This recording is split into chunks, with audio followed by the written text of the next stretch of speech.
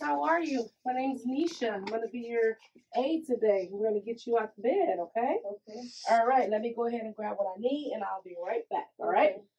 So all you need for this is your gait belt. And I'm gonna set that there. You're gonna need your non-skid shoes when you're ready. And the first thing I'm gonna do is lock your beds. That's the first thing I'm gonna do. Lock your bed so you don't forget. And then I am going to take her cover off and apply her shoes. Cause guess what? I told you I don't like bending over. Shoes. Now you can do this one or two ways. I, you can do this by sitting her up, or you can sit the head of the bed up, whichever one you feel makes it easy, or you can roll her to the side on her side and then swing the legs off and sit her up. You can do whatever you want. So me, I'm lazy. Want to set this bed up? Raise the bed. So I'm gonna raise the head of the bed because now all I have to do is turn her Yeah. around, right?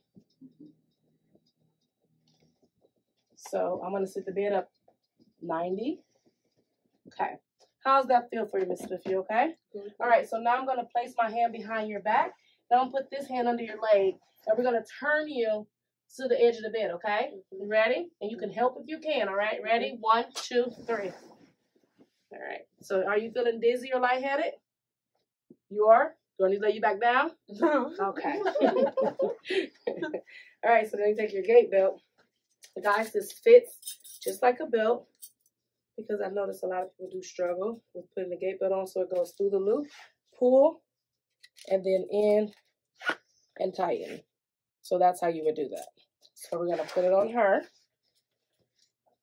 And once I get her all situated, I'll situate my chair. So I'm gonna bring this around. Can you lift your arms for me, please? Thank you. And again, like I said, through the through the loop. And I'm gonna pull, and I have my two fingers in there already checking to make sure I have two fingers, which tells me it's not too tight. Okay, how did that feel for you? Mm-hmm. Okay, all right. So now I need to make sure that her feet, can I move you up just a tad bit? One, two, three. Perfect.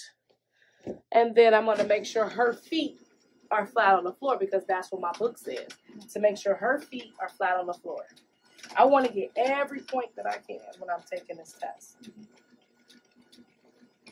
So her feet are on the floor, your feet flat on the floor? All right. So now that she's sitting up, she's on the edge of the bed, her feet are flat on the floor. I'm now going to adjust my chair to um, where I need it to be.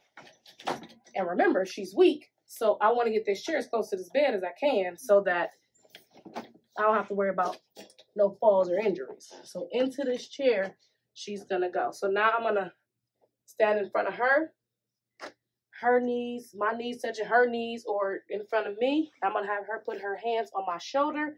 On a count of three, we're gonna stand up, we're gonna do a little dance and pivot into this chair, okay? And I might move this back just a tad bit so I don't bump nothing. So on the count of three, just a stand pivot, okay? Let me go ahead and put my foot there. Ready? One, two, three, up and turn and then have a seat. Okay? And then I'm going to remove the gait belt. And do not pull. Just take it off. So now she's up. You okay? Yeah. Feeling all right? All right, good. So then now I can unlock my wheelchair. I can have her face, or I can turn her or do whatever I want to do if she wants to watch TV or anything like that. So I'm just going to bring her backward. Boom. And then I can say, here's your call light. Now I'm going to place my gait belt back where I got it from.